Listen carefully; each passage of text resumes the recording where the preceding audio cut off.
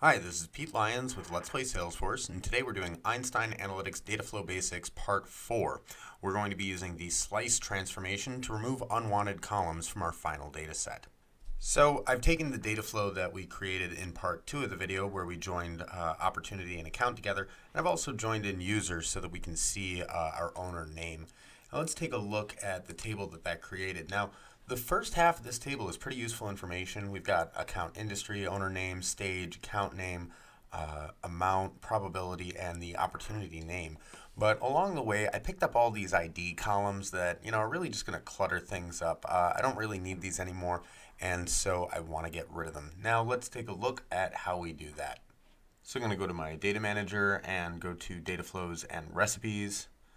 I'm going to edit data flow number five and I'm going to add a slice transformation. I'm going to call it slice IDs. Now the slice transformation takes a source just like anything else, so we're going to make the source join user to Opti because this is the last node before our register.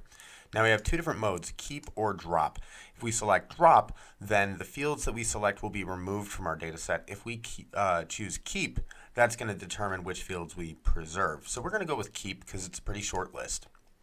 I'm going to keep account industry, account name, amount. Notice I'm skipping over those two ID fields, name, owner ID, skipping it, owner name, probability, and stage name. So then I go ahead and hit save. And if I look at the output fields, I see I got that much shorter list there. Just the stuff I want. And I need to change the source node on my register because as we can see, it's still pointing over to join uh, user to Opti. So that means it's not uh, aware that the slice is really happening. So we just got to change the source node, select our slice IDs. This guy a little room. Update our data flow. Back to the data manager. Start the data flow. Go to the monitor. Spam that reload. And we can see it's successful. So let's take a look at what happened. Right here, this is our slice. Notice that the count of rows don't change because we're not doing anything to rows, we're messing with columns. So now we can take a look at the data set that it created. Now this is from the previous, uh, this has not been refreshed, so just need to close and reopen. Back to table mode. And uh, look at that. These are literally all the columns we have now. All of those unsightly IDs are gone, and we have a much cleaner data set for our users to explore. Now I do want to point out that this is not the only way to control what columns are exposed to the user. Uh, we have dataset fields uh, right here, which allows us to alter the XMD. So for example, by clicking this caret, if I wanted, I could hide the account industry field from the UI. The user would not be able to click on it, but the column would still exist. So I could call it directly through the JSON.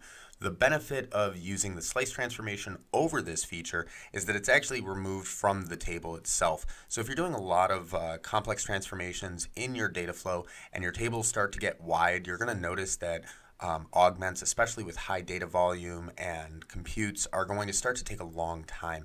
So the slice transformation can be used to reduce the width of your uh, data table to allow for increased uh, data flow performance if you don't actually need those fields later. If you do think that you might need them or you're not suffering from performance issues, the hide uh, feature within datasets fields uh, is probably a lot easier to use. So that's all for today. Uh, pretty simple uh, video for a pretty simple concept.